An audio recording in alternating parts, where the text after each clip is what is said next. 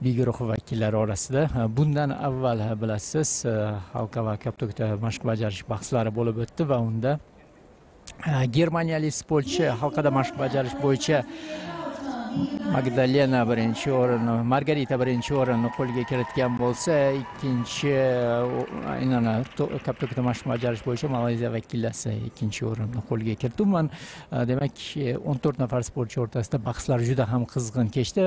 E'tiborimiz markazida esa amerika qo'shma shtatlari vakili aleksandra ushbu sportchi ikki ming beshinchi yilda tug'ilgan kuzatamiz.